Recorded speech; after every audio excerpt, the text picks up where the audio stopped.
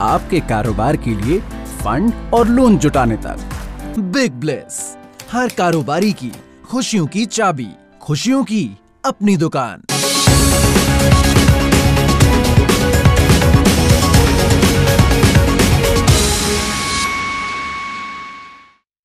नमस्कार, आप देख रहे हैं मार्केट टाइम्स टीवी। मैं हूँ आपके साथ शालिनी श्रीवास्तव।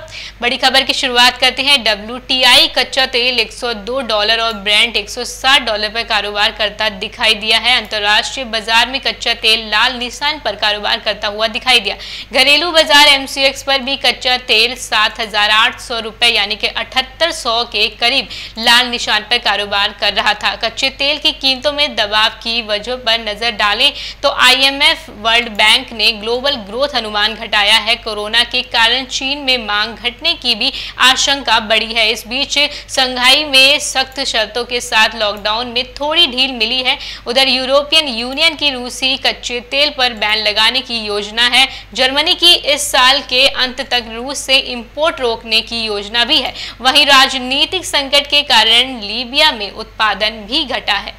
तो बड़ी खबर में अभी बस इतना ही, और बड़ी अपडेट्स के लिए आप बने रहिए मार्केट टाइम्स टीवी के साथ। मुझे दीजिए इजाज़त, नमस्कार। आपकी दुकान स्टोर में रखे सामान का पूरा खाता तैयार करने तक। बिग ब्लेस हर कारोबारी की खुशियों की चाबी, खुशियों की अपनी दुकान।